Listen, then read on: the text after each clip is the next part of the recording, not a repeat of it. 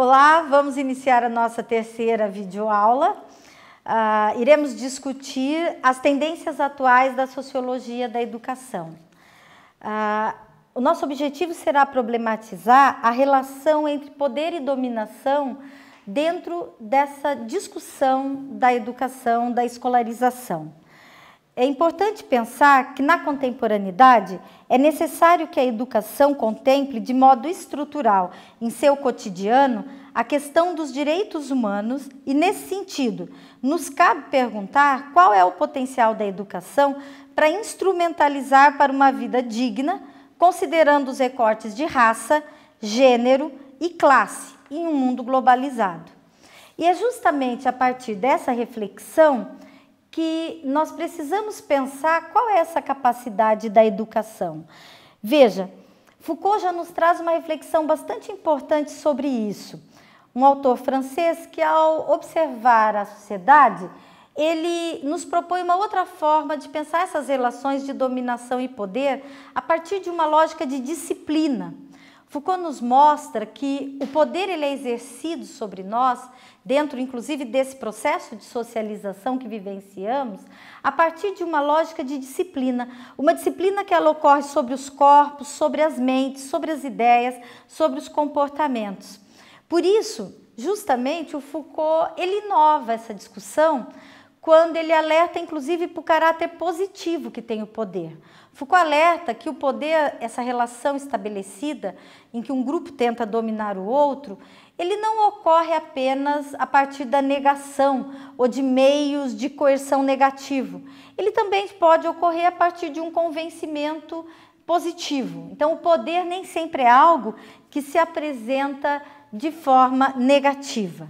Mas o Foucault ele tem uma citação bastante interessante dele que nos ajuda a perceber o que ele começa a discutir sobre o poder. Ele diz assim: olha, não vejo quem, na direita ou na esquerda, poderia colocar em perspectiva esse problema do poder. O autor aqui ele já está fazendo uma análise das teorias que haviam até então e que tentavam pensar essa relação de dominação ou por um ângulo da coesão ou apenas por um ângulo macro do conflito. E ele afirma: pela direita estava somente colocado em termos de constituição, de soberania, portanto, em termos jurídicos, e pelo marxismo, em termos de aparelho do Estado. Ninguém se preocupava com a forma que ele se exercia concretamente e em detalhe, com sua especificidade, suas técnicas e suas táticas. Então esse autor ele traz algo novo para a gente. Ele está dizendo, olha, nós poderíamos, como os, os liberais que afirmavam já desde a Revolução Francesa, discutir que nós somos dominados pelas leis, pelas, pela Constituição e querer novo, novo modelo de leis. Foucault diz, ok, isso é uma forma de poder, mas é um poder. Os marxistas dizem, não, o poder é algo que sai do Estado, é um poder de bloco, é um poder macro, é um poder que domina, diz o, Bourdieu, diz o, o Foucault. Todavia, o Foucault diz, não, o poder ele é um conjunto de táticas, ele é um conjunto de práticas cotidianas que, são, que acontecem diariamente e que muitas vezes nem nos percebemos. Portanto, o poder ele não precisa ser apenas macro, ele está nessas relações interpessoais. E um dos locais aonde essa, esse poder se manifesta é o espaço escolar. O, o Foucault vai nos ajudar a pensar a subjetividade presente nessas relações de poder. Segundo ele, essa subjetividade ela tem que ser pensada dentro de um recorte de classe, de raça etnia, um recorte de gênero, um recorte de sexualidade e pensar como esses vários grupos estão presentes na escola, não apenas na sua materialidade, mas como eles também são representados, inclusive representados nos currículos. E é aí que a discussão ela se desloca para a questão dos símbolos. Se eles são representados, quais são os símbolos utilizados?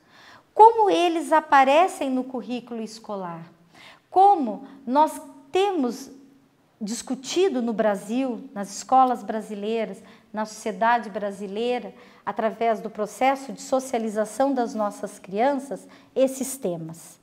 Então, é nesse sentido justamente é que o Foucault associado ao Pierre Bourdieu, vai nos alertar para a importância que tem na sociologia da educação resgatar o currículo escolar. E essa nova tendência da sociologia da educação é justamente se voltar para o estudo não apenas da escola, mas o estudo interno do cotidiano, das práticas, do currículo e observar como isso ocorre. Porque justamente, segundo Foucault, a verdade ela é desse mundo. Ela é produzida nele graças a múltiplas coerções e nele produz efeitos, regulamentos de poder. Cada sociedade tem seu regime de verdade, sua política geral de verdade. Isto é, os tipos de discursos que ela acolhe e que faz funcionar como verdadeiros.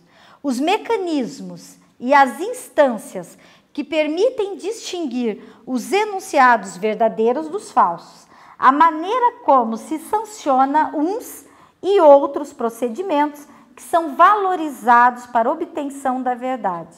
O estatuto daqueles que têm o encargo de dizer o que funciona como verdadeiro. Ou seja, cada sociedade não apenas constrói as suas verdades no processo de socialização, inclusive no processo de socialização escolar, mas mais é a própria sociedade ou uma parcela dela que escolhe quem vai selecionar os temas dessa socialização.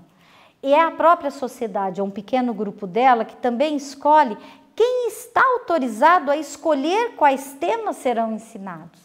Por isso, eles nos trazem uma reflexão de que a nova sociologia da educação precisa levar em consideração toda essa problemática. A escola ela é cortada, ela é permeada por esses fatores e o processo educacional não é isento. Na verdade, a, toda e qualquer prática social ela é permeada por um conjunto de ideologias. Isso não seria possível de outra forma. Então, encerramos e convido a todos e a todas a participarem ativamente da leitura e das propostas de atividades.